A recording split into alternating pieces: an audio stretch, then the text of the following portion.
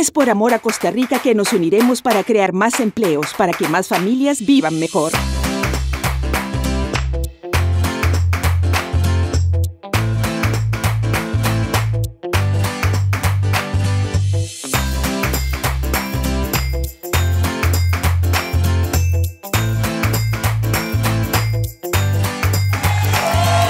Votemos por el amor a nuestro país. Es por vos. Es por Costa Rica. Carlos Alvarado, presidente.